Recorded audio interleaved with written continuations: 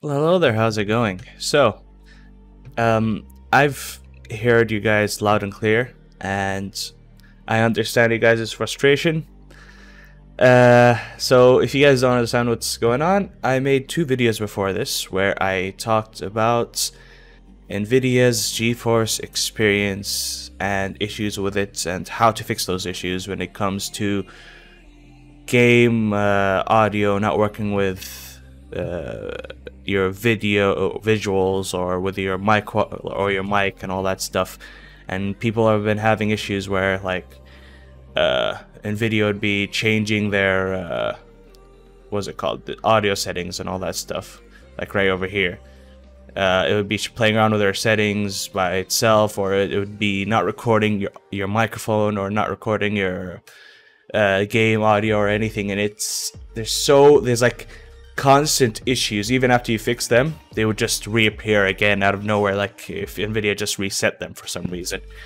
And there was no like I, I kept I, after those two videos I realized that it worked for 50% of the people and the other 50% would just spam hate comments in my comment section below which was annoying um, but because it's not my fault at all but uh, whatever. Uh, I'm here to show you guys a more permanent fix. And I'm not sure how permanent this fix is is because I did my own personal research and I, am just as annoyed uh, from it as you guys, and I've realized that the best way to uh, fix this issue is to attack it at the source. NVIDIA uses uh, their hardware to record gameplay with almost no effect whatsoever at your performance, your gaming performance. So how can you do that? Almost but without NVIDIA. So without NVIDIA software. So you're using NVIDIA's hardware, but without NVIDIA software, which is terrible. Well, it's very simple actually. If you go to OBS, so if you guys don't know what OBS is, you can I'll put a link down in the description. You can download it. It's a free uh, streaming software or recording software, and you can actually set it up uh, by doing exactly what you do now and go ser uh, search how to set it up on YouTube specifically for recording. But I'm going to be talking about a specific setting that actually makes your uh, OBS use your uh, GPU instead of your CPU when it comes to encoding uh, video. So as you can see right now, I have like if you see down here, I'll zoom in in it. I have only one 0.3% or 2% of CPU being used right now.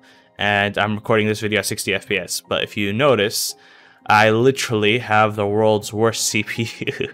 it's a fourth gen CPU from the Stone Age. And it's crazy. Like, normally, my CPU could not even run OBS while recording games or anything. It would just be unplayable, unbearable, and it would have uh, cut frames. But using this setting, it actually works perfectly fine, just as if I was using Shadowplay.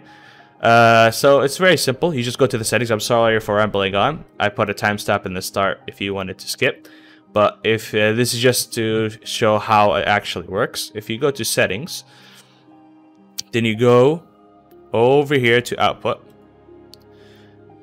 Of course, these settings, you guys can set it up in uh, a different video.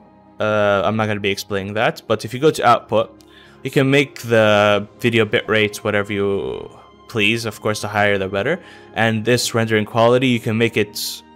Uh, I did not notice that big of a performance difference when it comes to making this higher using this method because it would use your hardware, not your software. So this is like changing the settings in NVIDIA Shadowplay as well. Uh, so what you want is I I use this, but the problem is with if you use this for large recordings uh, or long recordings, it takes a lot of memory. Like for five minutes or ten minutes of gameplay, it got it. It was an eight gigabyte video, so indistinguishable is probably a little bit too high, but it literally looks like how it looks like in game almost. Recording format, make it an MP4 or whatever you wish. Uh, and encoder, this is the most important thing. In encoder, choose this one, hardware, then NVIDIA's uh, uh, API or plugin or whatever you want to call it. This right here is what Shadowplay uses to uh, record uh, video without affecting your CPU or your computer performance. There's one issue to this is that it, uh, OBS will affect your FPS by around, I'd say, an average of 5%. If that is an issue to you, uh, I don't think this fix is going to be um, for you, but 5 F 5% is not that big of a difference. And honestly, if you are playing light games like CSGO or uh, Fortnite or uh, whatever games you guys play, like Rainbow Six Siege and all these games, they're most they're very light games. Like they already run at high frame rates, and most people that have modern CPUs and all that, they won't have this issue. But for you that do, this will affect a little bit. And if you're noticing lag while you're recording, I would recommend while you're recording to minimize uh, OBS because the preview actually affects your performance.